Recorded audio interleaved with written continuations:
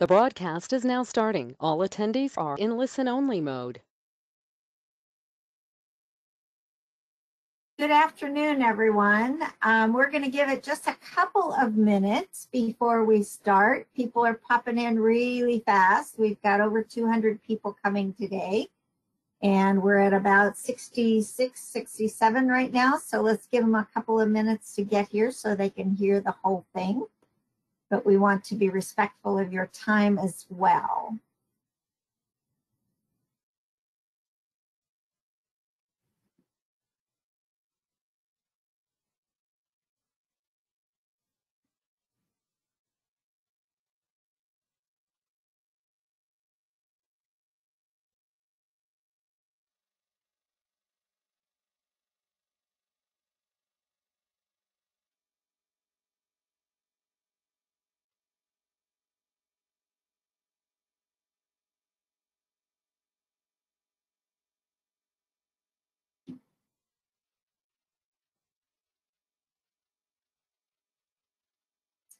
All right, people are populating pretty fast. We're up to about 80 of our 200 plus. So I'm going to go ahead and start and know that we'll fill in as we go along. Uh, my name is Julie Pierce. Um, I retired earlier this month after serving 28 years as a council member and six-time mayor of the city of Clayton, California, one of the smaller cities. But I also served on the Association of Bay Area Governments the Council of Governments for the 101 cities and nine counties of the San Francisco Bay Area. That's about 8 million people. And I served there for over 10 years, including four years as president. And I'm currently a member of the National Association of Regional Councils Board of Directors. We welcome you here today. Very happy to have you join us for this webinar on how to integrate racial equity into regional housing policy. This webinar is part of NARC's ongoing series of webinars addressing racial and economic equity. In these times of COVID and, and Zoom meetings, it's the, about the only way we can get together. And I think this is one of the lessons learned from this, from this pandemic is that we can do more of this and bring people from all around the, the country and the world together for these kinds of wonderful sessions. So I'm excited about this. As you all know, the lack of access for tens of millions of Americans to affordable, safe, and adequate housing has become all too apparent during this pandemic. We have watched affordable housing disappear as more and more affluent individuals and families buy up the very limited housing stock and push lower income individuals and families out. Uh, I don't know that there's any place that's more a model of that than than the Bay Area, and we're working to uh, to solve that. I'll be interested in hearing from the speakers today about how they're doing that. At the same time, there are tens of millions of poor and out of work Americans, primarily in communities of color, who've been unable to pay their rent or mortgages. These are members of our own communities who will face eviction at the end of this month when the temporary moratorium on eviction ends, unless Congress extends that moratorium. Once these evictions begin, we will see a dramatic increase in homelessness that will exacerbate the lack of racial and economic equity. Throughout today's presentation, you will learn about policies that promote regional housing equity, You'll see examples of promising work being done across the country and learn about Urban Institute data tools for decision making and learn how to unite diverse jurisdictions under one common equity focused policy agenda. Before introducing our presenters, I do want to share some information with you about the Urban Institute or URBAN for short. More than 50 years ago, President Lyndon Johnson founded the Urban Institute to help solve the problem that weighs heavily on the hearts and minds of all of us, the problem of the American city and its people.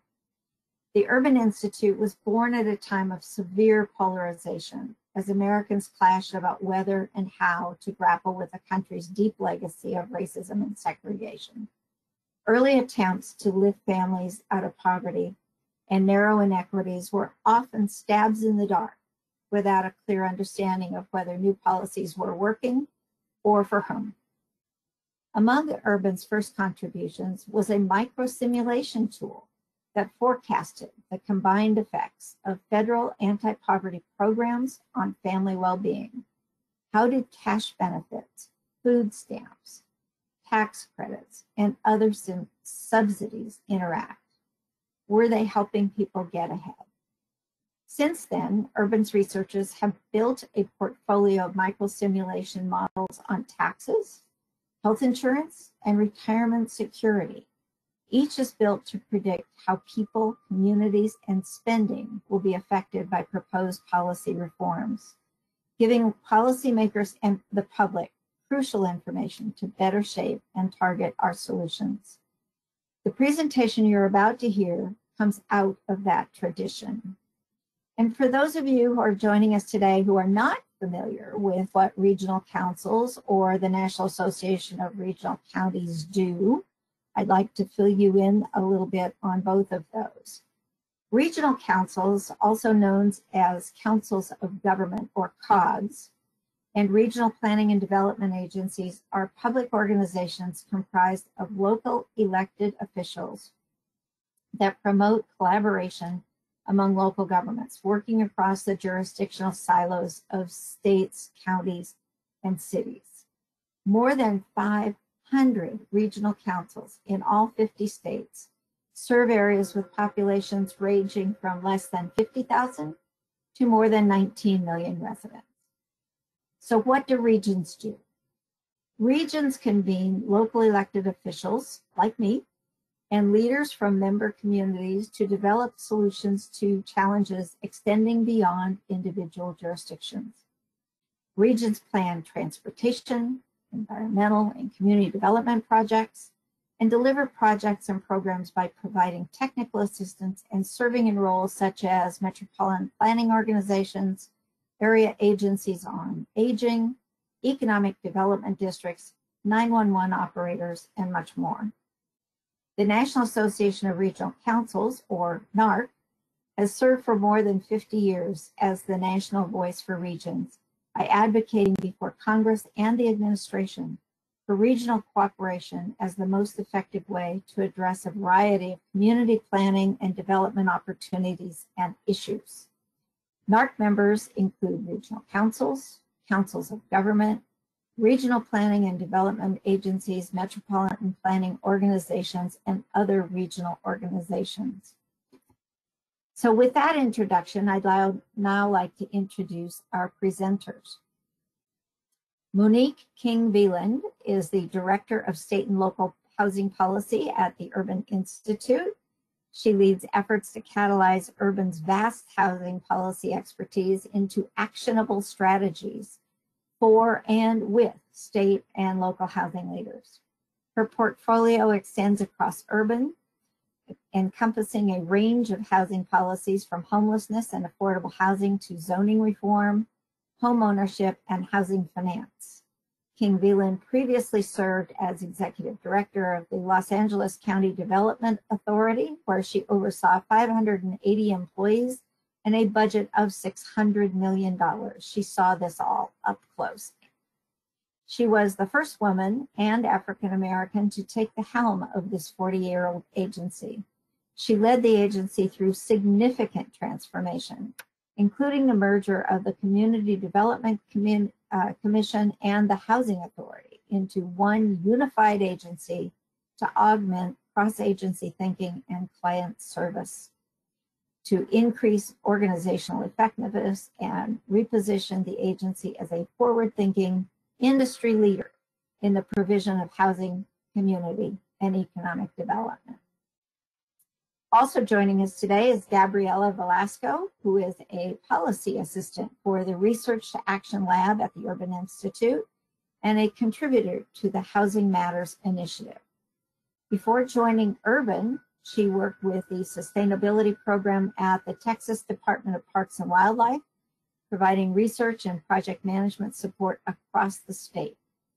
Velasco received a BA in Sustainable Studies, a BA in Urban Political Ecology, and a minor in Women's and Gender Studies from the University of Texas at Austin. So before handing things over to Urban, I just want to let you all know there will be a question and answer period at the end of this webinar. If you have a question, please enter it into the question box on your control panel on the right-hand side of your computer screen, or if you've moved it like I did on the other side. Uh, feel free to enter your questions at any point during the presentation.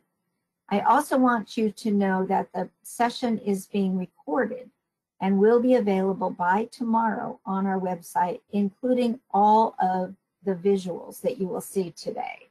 So now that we've dealt with those housekeeping matters, I want to turn the webinar over to our presenters. And Monique, are you going first? I'll be going first. Okay, okay, very yes. good. It's all yours. Thank you. Thank you, Julie, for your warm introduction. And thank you to the National Association of Regional Councils and to all of you for making the time to attend this webinar and discussion. As Julie said, my name is Gabriela Velasco. I'm a policy analyst in the Research Action Lab at the Urban Institute. And today I'm joined by my colleague, Monique King-Viehland, the Director of State and Local Housing Policy at Urban. Next slide. So as Julie previewed, uh, for those of you not familiar with Urban, we are a 50-year-old nonprofit social and economic policy research organization based in Washington, D.C. We conduct policy research and analysis, provide strategic advising and assistance to help stakeholders achieve better outcomes, and convene researchers, policymakers, practitioners, and advocates to discuss new evidence and share promising practices. Next slide. So our presentation today will begin with a brief introduction to why housing is the central focus of today's discussion. Then I'll turn it over to Monique, who will talk about why racial equity is essential to housing policy and offer insights into how organizations can pursue regional housing equity. We'll leave about 15 minutes at the end for Q&A, but if you have questions throughout the presentation, please feel free to drop them in the chat box below. Next slide. So it was true before COVID-19 and it'll be true after. A safe, decent home provides a solid foundation in life and strengthens more than just residents. However, housing markets don't provide safe, decent homes at all income levels, nor are they race neutral. That's where policy needs to intervene. Next slide. Learned and lived expertise shows that housing is central to opportunities and outcomes in life. Housing stability and safety influence a range of factors for individuals and communities, including health, economic mobility, neighborhood safety, educational opportunity, and well-being. Housing can also be a key point of influence to address disinvestment and segregation in pursuit of racial equity. Next slide. The range of issues that unstable or inequitable housing systems produce are wide-ranging and intimately felt by residents. Acute short-term outcomes like eviction and homelessness are connected to declines in health, both mental and physical, difficulties in employment, and a reduced sense of belonging and autonomy in communities. These have impacts over a lifetime, including lower earnings, lower assets, higher health costs, and shorter lifespans. Next slide. So the Urban Institute has long been focused on these connections between housing and other domains. Since 2016, we have led the Housing Matters Initiative, an online portal for rigorous research and tangible solutions for policymakers, practitioners, and advocates. Our work makes connections between housing and a range of domains, including health, income and assets, climate change, education, and the justice system, among others. We'll drop link in the chat later on to our website, and we encourage you to go through these resources and subscribe to our weekly newsletter to stay in touch. Next slide. So beyond its role in supporting better outcomes in health, education, climate change, and justice, we also believe that housing has a major role to play in the pursuit of racial equity. A few months ago, my colleague Martha Fedorowicz and I wrote a blog piece on why it's essential that we integrate racial equity into housing policy analysis. While this article was geared towards other research translators, we think the central thesis of the piece holds true for all policymakers and practitioners whose work touches the housing sphere. Next slide.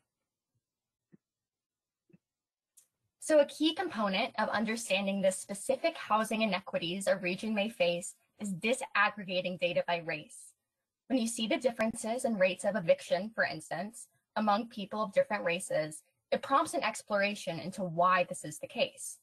That's why it's absolutely essential that data be presented within a framing that is fully engaging with the historic and present structural and systemic drivers of inequities, including racism. If you don't have that framing, you miss the why. And answering the why brings us closer to knowing how to answer the question of how do we create policies that address this inequity. And now I'll turn it over to my colleague, Monique. Thank you, Gabriella. So building on Gabriella's point, let's delve into some racially disaggregated housing data. I'm going to focus on racial disparities in the housing market and how COVID is increasing housing instability for people of color and why that is the case. A few quick things to keep in mind before we jump into the data. First, the data we are sharing is focused only on rental housing. That's not to say that there's not also a looming crisis on the homeownership side. And second, we're focusing only on racial disparities in access to housing, not income-based disparities. We know that low-income renters of all races are facing crushing housing cost burdens and housing instability risks that COVID has only made worse. But while I talk about income-based disparities briefly, it will only be in the context of how they reinforce race-based disparities. Third, we're going to focus more specifically on Black-white disparities. Although disparities exist between whites and other racial and ethnic groups, given availability of data and timing, we opted to focus on these disparities. And one final point, You'll note that the slides will differ in the use of their language to describe Latinx households, often using the term Hispanic. Hispanic is a term that is rife with conflict, but it is the designation used in census data. Next slide. To start, it's important to keep in mind that we were in the midst of a housing affordability and instability crisis nationwide pre-COVID. And the pandemic has only amplified existing inequities in our housing delivery systems. Next slide. Black households are roughly twice as likely to be renters than white households. And in 2018, 58.3% of Black households were renters, compared to 27.8% of white households.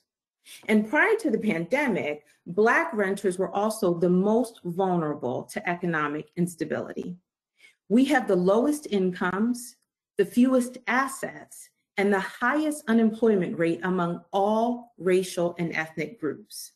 And this lack of assets and savings are most important since it's what most families rely on to keep their homes through short-term economic shocks like a layoff or a health issue. Next slide. Prior to the pandemic, more Black renters reported difficulty paying rent than white renters. In this data from 2019, one third of Black renters often or sometimes had trouble paying rent, which was eight percentage points higher than white renters. Black renters were also more likely to be cost burdened across the US. 55% of Black renters pay more than 30% of our income on rent, compared to 43% of white renters. And fully one third of Black renters are severely cost burdened, meaning we pay more than 50% of our income on rent. Next slide. Black renters experience much higher rates of housing instability than white renters. For example, research from the ACLU using data from the eviction lab found that Black renters had evictions filed against them at more than twice the rate of white renters in Massachusetts. It's worth noting here that before the pandemic hit, an average of more than 2 million evictions were filed each year across the US. at a rate of four evictions every minute. I want to say that one more time at a rate of four evictions every minute. I'll note here that evictions filings in a normal year in the US exceeded the rate of foreclosures during the height of the foreclosure crisis. And renters have notoriously fewer protections than homeowners to fight evictions. Next slide. This brings us to our current moment in time. Next slide. I'll start with two sobering statistics that might explain why we see these disparities worsening during COVID. We know that Black and Latinx workers are overrepresented in industries that have been hardest hit by the pandemic and shelter in place orders. This is especially true for Latinx families. 57% of Latinx families lost jobs, work hours, or work-related income during the pandemic. Here, I'm showing the data from the Urban Institute's Health Reform Monitoring Survey from late March. More recent polling data from the Washington Post and other sources shows an even wider disparity. Next slide. This has meant skyrocketing unemployment rates for Black and Latinx workers. Both groups already experienced higher unemployment rates than white workers before the crisis, and now are experiencing historic highs. These numbers mask another reality as well, which is that Black and Latinx workers are also both overrepresented in industries that were deemed essential workers, as well as in low wage jobs, which means that for Black and Latinx families that were not laid off, they were more likely to work in high risk, low paying jobs. Next slide. Finally, we are seeing this reflect in higher rates of exposure to and deaths from COVID across all age groups. It's like the perfect storm. Overrepresentation in high risk, low paying jobs, overrepresentation in impacted industries, disproportionate lack of access to preventative medicine and healthcare, concentration in densely populated living conditions, et cetera, et cetera. Next slide. So what does this all mean for the housing disparities that we discussed earlier? All signs suggest that the pandemic is making them worse. Next slide. When we look at the Census Household Pulse survey, which is one of the only sources, frankly, right now, of real-time data we have on renters and rent payments, and found a striking difference by race and ethnicity as to who was caught up on rent in October. Here we see that 26% of Black renters were not caught up on rent payments, while only 10% of white renters were not caught up. And data from that same survey found that a higher share of Black and Latinx renters were not confident that they would be able to pay rent in November. Now, there isn't yet reliable data on evictions by race during the crisis. But in light of the prior disparities in housing instability and the numbers we're seeing on rent payments through the crisis, we expect that Black and Latinx renters are at a much higher risk of eviction as moratoria are lifted. Next slide. One useful tool that we want to share with you to see data for your region is Urban's Tracking COVID-19 Effects by Race and Ethnicity tool. The tool uses data from phase two of the Federal Household Pulse Survey public use files to measure how COVID has affected US adults and their households. You can use this tool to understand racial disparities in your community for things like previous mortgage payments, previous rent payments, and upcoming mortgage and rent payments. Next slide. So we talked a lot about the problem and connecting the dots on how we arrived at this sort of critical moment in time. But I suspect the question on your minds, having sat in a seat similar to many of you, is what can regional leaders do to address racial inequities in housing? Next slide. Research shows that the most fragmented regions in the United States also have the greatest degree of regional and racial inequity. Strong, cohesive regional leadership helps guard against efforts to undermine racial equity and forms a baseline for reducing disparities and connecting residents with resources. So regional bodies like COGS, like MPOs overall can collect research that documents regional inequities, establish and apply racial equity criteria to public revenue streams that fund things like affordable housing production, ensure meaningful community leadership and ownership of policies, promote double bottom line investments, and integrate people and place focused strategies. Next slide. Now, let's delve into some specific policies and practices that regional governing bodies can deploy. And keep in mind that these should really be contextualized and tailored to the specific needs of a region's population and should be targeted towards the most acutely experiencing housing inequity. Next slide.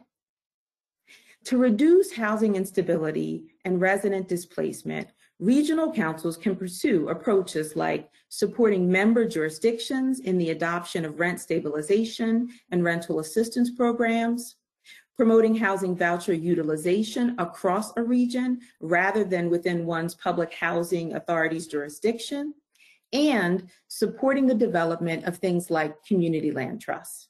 Next slide. Another tool from Urban that we want to share with you is the Emergency Rental Assistance Priority Index.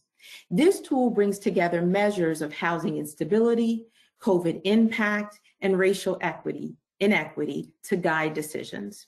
The index emphasizes an equitable approach, accounting for risk factors that are higher for certain groups, particularly Black, Indigenous, and Latinx renters. And as we mentioned earlier, these groups have been historically and systematically excluded from housing and economic opportunities and face greater health and economic impacts from COVID. Local decision makers like yourselves who want to prioritize an equitable COVID response can use the tool to inform community-based processes to target areas where resources for residents and nonprofit organizations are likely to have the greatest impact on reducing housing instability and homelessness. Next slide. Regional councils could also focus on enabling fair and equitable access to housing. For example, regional bodies can provide sample language to local jurisdictions to expand anti-discrimination protections, support fair housing education programs, and intentionally increase testing and enforcement of fair housing laws. Next slide. Finally, but certainly not least, Funding for proven strategies that address homelessness is essential. Period and stop. Essential. Next slide. We realize that the recommendations we've made don't exist in a vacuum.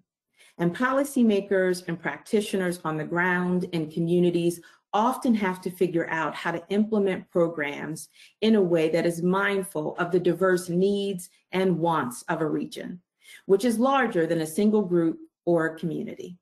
Trust me, I worked in an incredibly diverse county where I was trying to meet the housing demands of 88 very different cities. So I know it can be difficult to rally popular support and consensus around these type of policies, but there are proven strategies that can aid in success. And Gabriella is going to talk a little bit about those. Great, thank you, Monique. So uh, next slide, please. One powerful example of building consensus around equitable systems change is found in Utah. According to the U.S. Department of Housing and Urban Development, when it comes to regional coordination around growth issues like housing, the United States can see a less developed tradition than many other countries, in part because regional planning efforts can evoke really strong reactions from residents concerned about losing local control. Envision Utah was an organization identified by HUD as a leader in this field by tapping into people's shared values and aspirations while using convincing, unbiased data to demonstrate the need to work regionally. Good data and analysis, rigorous, transparent, and easy to understand, form the foundation of Envision Utah's consensus building strategy. Before getting people together to talk about planning, whether for the region or for one of their many demonstration projects, Envision Utah does significant background work, baseline analyses, and predictive modeling of land use, infrastructure, economic health, and other factors. Armed with a data-driven forecast of how the region will look in 40 or 50 years if current trends continue, Envision Utah queried people's level of satisfaction with the region's future. Participants' typical response was dissatisfaction, which created the space to have productive conversations that transcended traditional ideological divides and focus on specific problems and trade-offs. In this region, people's shared values often outweigh their disagreements, and a shared knowledge base created through strong, unbiased data enabled people to reach a surprising level of consensus. This approach was key to their, their success in building consensus throughout the Salt Lake City region around transit-oriented development and housing. Next slide. So this, once again, brings us back to data. Racially disaggregated data articulates and makes clear the need for varying investments across regions united under a common goal of racial equity, while also recognizing that the path to pursuing equity will look different for every region. Timely, reliable data are essential for de designing race-conscious solutions, as well as for holding decision makers and institutions accountable for choices that perpetuate oppressive systems. Next slide. So a new initiative we are really excited about is the Racial Equity Analytics Lab, or REAL. Urban's multiracial, multi-generational REAL team operates at the intersection of data science, social science, and public policy. We conduct innovative research across a variety of issues to produce data tools and evidence-informed analysis that respond to real-world needs and near-term policy choices. Whenever possible, our experts deliver data disaggregated by race and ethnicity at the regional, city, and neighborhood levels. And as we learn and share new insights, we are also cultivating an ongoing dialogue with equity-focused leaders who appreciate the power of data to help drive change. And with that, I'll turn it back to Monique to wrap us up. Thanks, Gabriella. Next slide. So what are the main lessons from our work? First, Rigorous, clear data is an essential tool to build coalitions for racial equity in housing. Second, creating space for flexibility and creativity to truly build a contextualized analytical approach to racial equity that fits the unique nature of communities is essential. Third, it's clear that COVID has worsened racial inequity in housing, as well as in other areas like health and it is an urgent point of focus for all communities, whether urban, suburban, or rural. And finally, in order to provide the resources necessary to keep people safely and stably housed, regional entities need to commit to racial equity, even when faced with opposition. Next slide. And with that, thank you so very much uh, for your time and for the opportunity, and we will move into Q&A.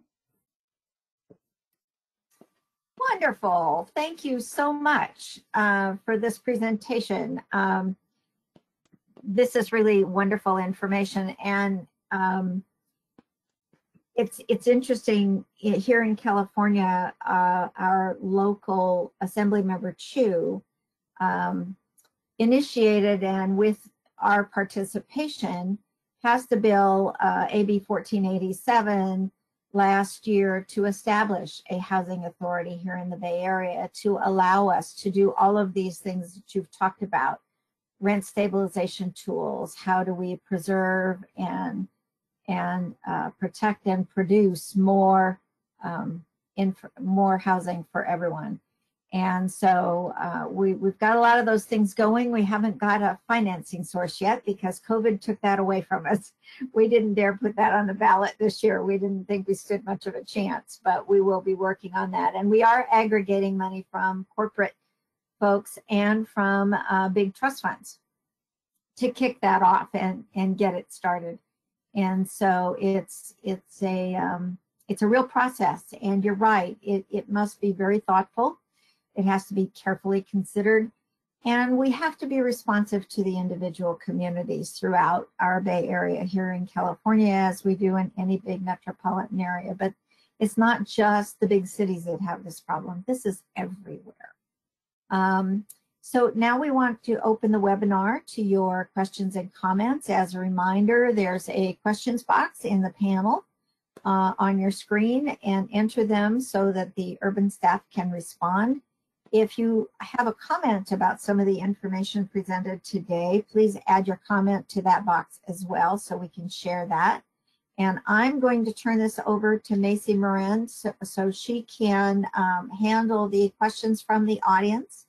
And we will go until about five minutes before the hour and um, then we will wrap up. So thank you again for your presentation. Thank you. Macy?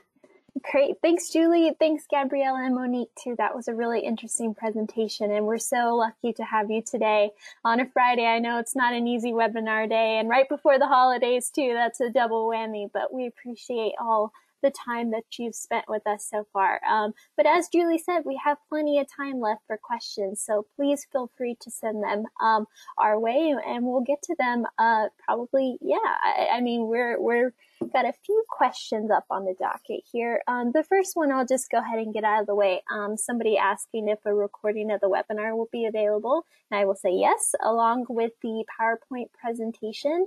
Um, since it is a Friday, I might actually wait to send it out on Monday. That way uh, it doesn't get lost uh, over the weekend in the weekend emails. I'm sure we'll put it on our website too. That way, if you go to narc.org, N-A-R-C, uh, .org. We'll have it there and you can uh, find it and watch it. Uh, it'll be up on our YouTube page as well. So um, now that we got that out of the way, first question, how can an MPO, Metropolitan Planning Organization, that is mainly funded by federal transportation dollars, uh, do more work on equitable housing policy? Uh, beyond the housing recommendations, uh, whoa, it just moved. Let me see. Um, beyond the housing recommendations in the long range plan.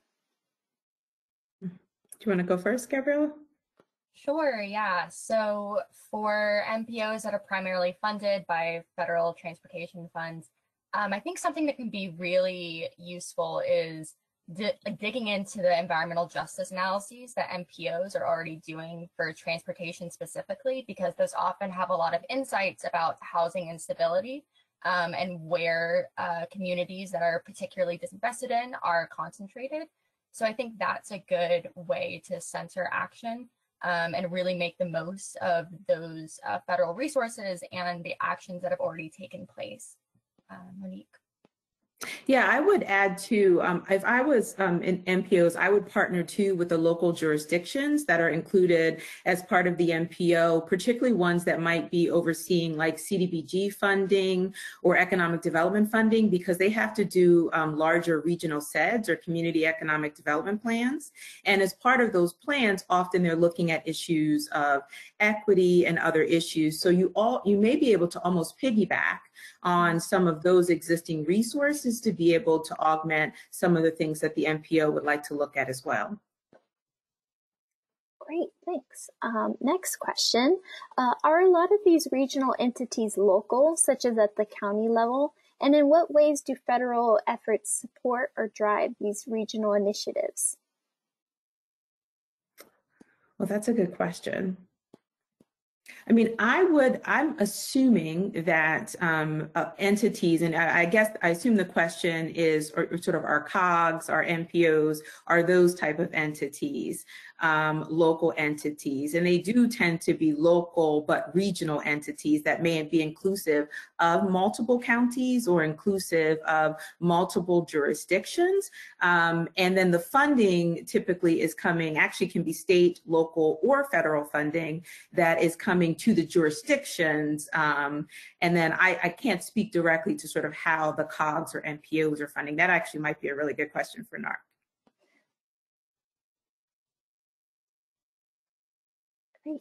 Right, next question. Um, how do you anticipate MPOs, uh, RCOGs, I think that's uh, rural councils of governments or regional councils of governments, and other regional housing conveners utilizing the REAL tool? Oh, that's a great question. Gabriella, do you want to start? Ah, yeah, absolutely. So I think what's really exciting about REAL is that it's focusing across domains. So it's looking at housing, but also going to have these data and research tools that are on health, on education, on infrastructure.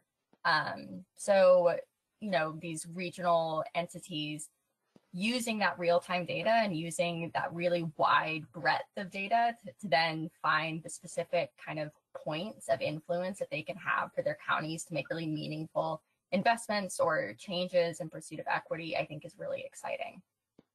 Yeah, I think tools like the ones that Real um, are going to be pushing out, and then also some of the tools that we share with you, mm-hmm. the great thing about them is being able to use the tools to really understand from a demographic and data perspective, what are the inequities in your community? So for instance, we talked a lot about, you know, um, African Americans and Latinx households, but it might be indigenous households in your community. It might be youth from a homelessness perspective in your community. So using tools that are disaggregated and with disaggregated data in this way really allow you in your communities, in your regions to begin to look at where are the disparities? Where are people disproportionately impacted? And then begin to do planning based on that with real data to augment your efforts um, around advocacy for making certain investments in programs and policies. Definitely. And I think especially for the data sets that are on the smaller scale, so like neighborhood level, census tract level, block level, you know, when you really see that nuance in between communities, I think that's a really great, a great point as well. Yes. Great really interesting. Thank you so much. Um, next, this is just a quick follow up um, asking what REAL is again, if you can uh, let us know what that stands for. Yes, so that's the Racial Equity Analytics Lab at the Urban Institute. And we can drop a link in the chat. Yeah, please do. Um, that would be great. Uh, next question. The example from San Antonio is great, which is my hometown, so that makes me happy. Uh, Mine can, is- really? Oh, that's yeah, great. I'm actually in San Antonio right now. wow. Well, there you go, making connections, people. It's a small world. Um, so, can you speak more about the housing instability risk subindex and what measures does it track? Rennie, would you like to take this one first? Uh, actually, Gabriella, can you jump on it?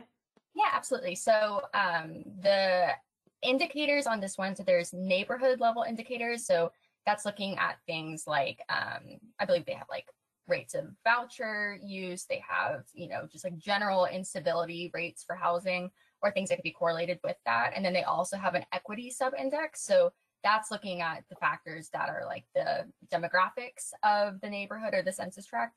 Um, so whether that be that's racial, economic, uh, gender divisions as well. And so then trying to find those points where we know there's more likelihood that people are going to be vulnerable. And so we can predict those vulnerabilities looking at those intersection points of, you know, if we have a community that already has a high rate of housing instability in this community also happens to be predominantly black, we know that this is probably an area where we're going to be needing to look to invest more funds to stabilize during the COVID-19 crisis. Great, thank you. Um, next question. Are you aware of any truly regional housing initiatives or partnerships? Uh, this particular person is looking for multi-county models. Oh, that's interesting.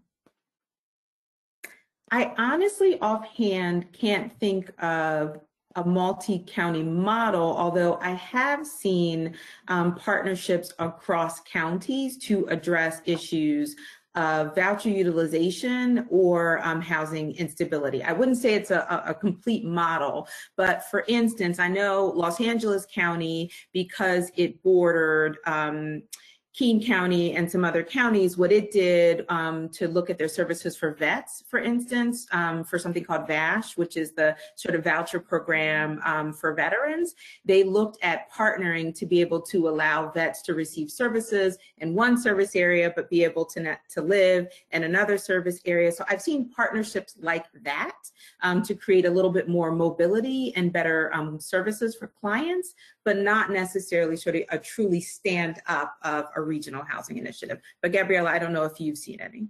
Yeah, maybe not as explicitly of, as that, but I know that in the Washington, D.C. region, the Washington Association um, has done a lot of collective um, research and advocacy around housing issues that are facing the district um, and also the surrounding counties in Maryland and Virginia. So that has definitely been a way that those counties have kind of worked to develop a cohesive narrative around what the housing issues are facing the DMV um, and working to fund research to fund um, that work that can stabilize the entire region. Yeah, that reminds me that um, Urban actually did some work, um, I want to say last year before, it was before I came on board, um, a, a, greater Washington housing um, needs assessment. Maybe we can send that um, as a link um, to the NARC staff to share as well. And that was sort of based on the Metropolitan Washington COG here in the greater DC area, but included Virginia and Maryland. And I think overall the assessment looked at, so that actually might be a great model, looked at how to push sort of a larger, um, more regional perspective for housing need, and then had sort of what each of the different regions needed to do so you could understand because the approach in Alexandria, Virginia might be different than Silver Spring, Maryland, but thinking of your individual needs, but from a larger contextualize what the overall region needed. And so we can share that as a resource as well. That might be helpful. Yeah, that sounds great. Um, I think I think Martha just sent it, so I'll be sure to put it in the chat once I ask this next question. Um, do you have or know of strategies or tools that can assist in developing displacement avoidance uh, policies along with racial equity policies? That's a great question. Um, I there are actually a couple of tools at Urban um, around this too. I think we can we can maybe pull those together. I don't know if Martha will be able to do that um, as quickly around um, displacement and anti-gentrification strategies and measurement. Um, there's a displacement index or measurement as well. Um, I don't know, Gabriella, if you know the specifics of some of those, but I do know we have some tools that we can share. Yeah, we definitely, I know the tools you're talking about. Um, and I think also there's some really great tools from folks in our community engagement kind of methods team and also community engagement research team. Um, and I think when you're talking about displacement and gentrification specifically, having a really strong community engagement strategy that involves communities not just in you know the end product in a consultation kind of way, but more importantly, like help them co-creating the process of um, these policies, I think is really important as these are the communities that are really intimately experiencing the impacts of displacement um, and having them be co-creators of this, not recipients of it, is really essential. Yeah, good point. Let's see. Um, looking at the real tool, are the data primarily available uh, by state and then for the largest metro? Oh, I guess they said the data is primarily available by state and then the largest metros. But their question is, is the data available for smaller metros? Yes, the idea is that Real is actually trying to dig down, um, and it's still in development, um, but Real is trying to dig down to create to get disaggregated data as far down as it can. Um, now, there are limitations to data. It's one of the challenges and why um, Real, oh, thank you, and why Real has been created and why we're exploring it, because the need to have the disaggregated data at more local levels, like a neighborhood level, a community level, um, is, is it's more challenging but it's needed in order to really be able to engage in that contextualized approach that we talked about. So um, in some of the data sets, they actually should already go down to um, a smaller level, um, but I, it is originally envisioned to bring it down as far as possible. Perfect. Okay, putting one more thing in the chat, guys. Sorry, I'm overwhelming you. Uh, this is the the cog example that um, I think many Thank of you, you. will find helpful. Sure, no, thank Martha. She's the one that's sending it all to me. I'm just relaying the messages here. Um, let me see. I think there was one other question here. There are so many. Um, it says, uh, will you have data on discrimination based on gender identity or sexual preference? Interesting. I don't, Gabriella, do you know? I don't know specifically for real, um, also because it's a relatively new initiative at Urban. I think it launched last month, um, but there are colleagues of ours in the Metropolitan Housing and Community Center who are focused specifically on uh, discrimination for people who are gender oppressed and also um, for uh, on the basis of sexual orientation. So that work is definitely there's a lot of lines to be drawn, um, especially for queer people of color. Absolutely. Yeah, thank you. Um, someone said, thank you for this. The presenters provided a lot of great data resources. Um, do you have resources that help assess or relate the effectiveness of individual planning and policy tools, such as tenant protection, zoning tools, community land trusts, etc., uh, with meaning, meaningfully improving outcomes at scale?